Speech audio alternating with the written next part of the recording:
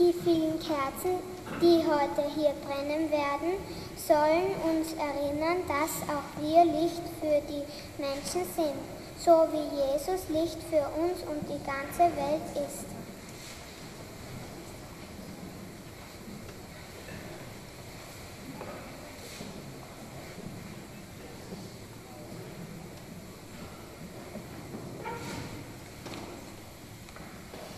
Wir danken euch, dass ihr euch heute für das Licht der Welt, für Jesus entschieden habt und dass ihr heute diesen großen und schönen Tag hier in der Kirche mit uns feiert.